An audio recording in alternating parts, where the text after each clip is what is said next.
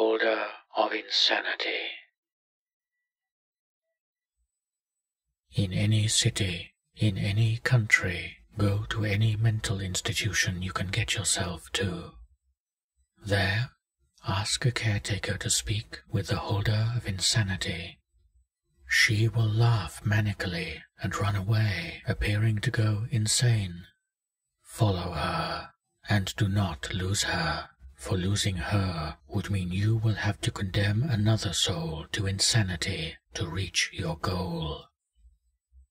She will lead you through an upside down hallway into a mental ward with bright fluorescent colors. Vague remains of the other condemned caretakers, as well as those who tried before you, lie strapped in beds on the ceiling. As soon as you enter the room, cover your ears so you do not hear their wailing and laughter, or you will share their fate. At the other end of the ward there is a door. The caretaker will open it for you and then disappear. Do not look for her, because she will be behind you from that moment on, following your every move, occasionally giggling quietly. If you should turn around to face her, she will pull out a knife and brutally slaughter you before dragging you back to the room of fluorescent colors, where you will spend the rest of your days, strapped upside down in a bed halfway between life and death, becoming ever more insane with each passing hour.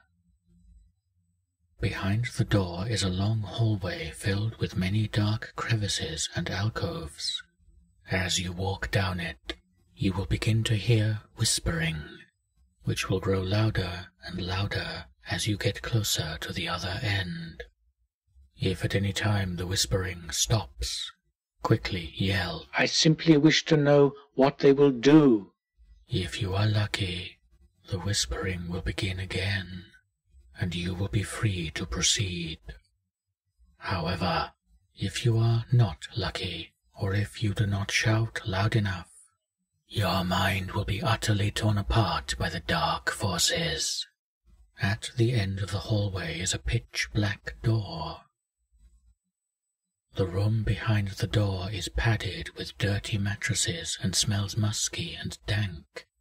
Enter the room, and before you, you will see a man with a mohawk in a restraining jacket that constantly changes colors. He will tell you to nail him to a cross and accept him as his savior so he can be reborn. Do not respond. Instead, ask him a question. There is only one question he will answer to. What is the definition of insanity? He will ask you if he told you the definition of insanity.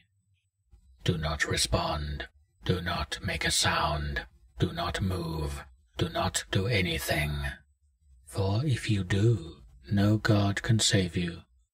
He will rip himself out of his restraining jacket and mutilate you for all of eternity with his razor-sharp knife, shouting that you should have listened, only for you to come back from the dead the next day just so he can murder you. Over and over and over and over again. Shut your eyes and count to ten in your head. Once you will hear footsteps quickly move to your left Open your eyes and take the knife out of his pocket. Once you do, you only have a couple seconds to drive the knife through his heart. He will fall down motionless in front of you, and you will feel a wave of happiness and accomplishment wash over you. You will then start feeling dizzy and pass out on the floor next to him. As you begin to drift off into sleep, he will shoot his eyes up and glare at you for a brief moment. You will wake up in front of the asylum, palms around you.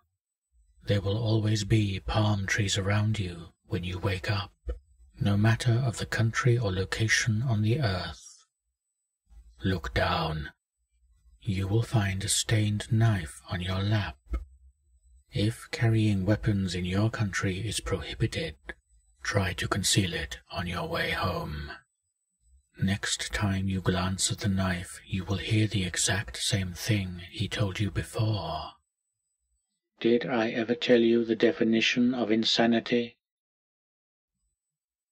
That knife is Object 276 of 538. He will always be nearby, watching your every move until they are brought together.